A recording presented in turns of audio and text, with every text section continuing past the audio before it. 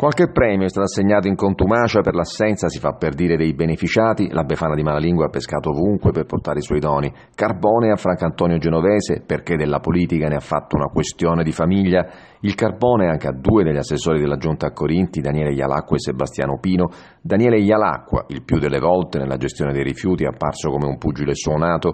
Messina, nella raccolta differenziata, in Sicilia occupa una delle ultime posizioni e non supera il 13%, ma il suo attaccamento rispetto al sindaco a Corinti e all'ideologia comunista gli fa meritare anche un bel lecca-lecca. L'assessore Sebastiano Pino governa un settore, quello dell'edilizia scolastica, che da quando c'è lui non ha fatto passi sostanziali. Secondo il capo dell'ispettorato del lavoro, nessuno degli edifici scolastici è al sicuro e i progetti per mettere in sicurezza le scuole restano al palo. Carbone al politico trombato e riciclato, sono tanti coloro che subita la sconfitta alle regionali hanno cercato casa altrove, magari in uno schieramento opposto a quello con cui si erano candidati. Carbone al messinese zaurdo e incivile che porta i cani a spasso senza sacchetto e abbandona ogni genere di rifiuto in strada.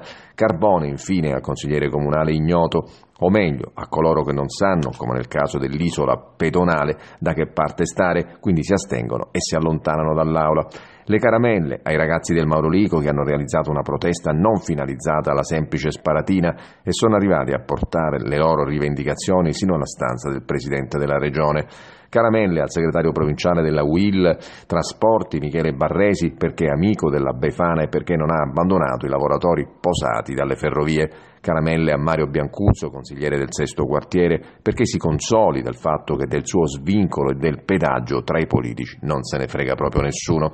Caramelle a Lucy Fenech perché ha avuto il coraggio al comune di dire qualcosa di anti a Corintiano.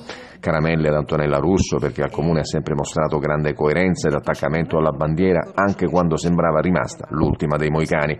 Caramelle infine a un dirigente Natale Cucè sino a fine febbraio sarà all'Amam e a Messina Ambiente. Con lui la situazione rifiuti, almeno l'emergenza, è stata risolta. Lo aspettano acqua e fogne. Auguri.